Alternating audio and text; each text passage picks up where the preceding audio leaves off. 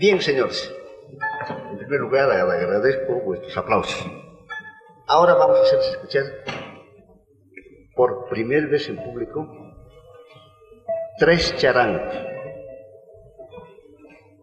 Para llegar a lograr estos tres instrumentos, ha tenido que pasar siete años. Porque sencillamente los instrumentos no estaban de alzarlos. Ha tenido que estudiarse bastante a llegar a la conclusión que podemos ya ahora hacerles ver el progreso de nuestro charango. Entonces, el nombre de este charango chico es soprano. El tenor y el barítono, que es un instrumento más grande que acompaña. Ojalá esté de vuestro agrado, que vuestros aplausos nos servirá siempre de estímulo para seguir estudiando.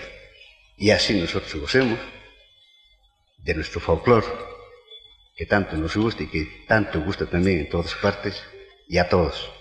Ahora vamos a hacer, escuchar un guay